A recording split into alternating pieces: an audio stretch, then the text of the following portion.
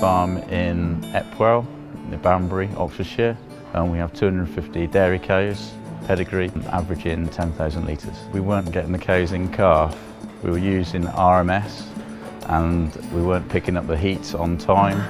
Um, they were AIing them too early. I looked at all the other uh, heat detection systems on the market. Um, Silent Herdsman seemed to be the newest, more up-to-date system. It used better technology and I thought it had more potential for expansion.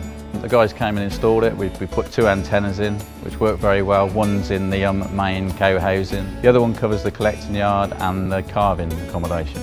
We had a lot better results straight away, really, because I was AIing as well in the evenings and RMS, RMS was AIing in the mornings and I have better, I had better conception rates in the evenings. We were at 12% before we started. Straight away we shot up to around about 50% and we've fallen back down to something more sensible now. We're running at 34% now. Calving index now, well, we've been using it for two years. It's just dropped from around about 420 to around about 410 now.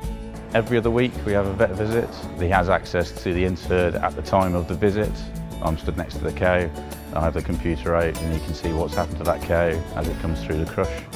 As, as the cows calve, we put, we put the collars onto the cows. Within it's 50 days, we have a voluntary waiting period.